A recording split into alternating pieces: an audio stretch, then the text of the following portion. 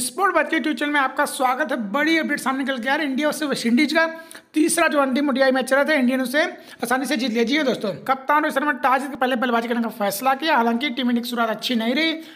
विराट कोहली, रोहित शर्मा और शिखर धवन का विकेट जल्दी गिर गया, जिसके चलते टीम काफ़ी मुश्किल में पड़ी गई। यहाँ पर श्रेयस और ऋषभ पंत का शानदार अड़सठ की पारी के चलते टीम इंडिया दो सौ पैंसठ टोटल तक पहुँच पाई और वेस्टइंडीज को दो सौ रनों का टारगेट दिया गया।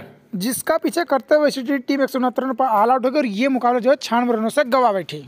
तो यहाँ पर बड़ी अपडेट सामने कर लिया है। इंडिया वर्सेस वेस्ट इंडीज का, जो ओडिया सीरीज़ का तीसरा मुकाबला मतलब आखिरी मुकाबला चल रहा था इंडिया ने उसे आसानी से जीत लिया है और सीरीज़ भी तीन ज़ीरो से अपने नाम कर लिए। जैसा कि आपको पता है सोलह फरवरी से टी ट्वेंटी का मुकाबला शुरू होना तो यहाँ पर टीम इंडिया का कॉन्फिडेंस काफ़ी बड़ा हुआ रहेगा। तो आपको क्या लगता है, कौन सी टीम टी ट्वेंटी सीरीज़ जीतने में कामयाब रहे? कमेंट बॉक्स में ज़रूर बताएँ। चैनल से जुड़े रहें। अगले अपडेट तक। अगला अपडेट आपको जल्दी मिलेगा। जय हिंद।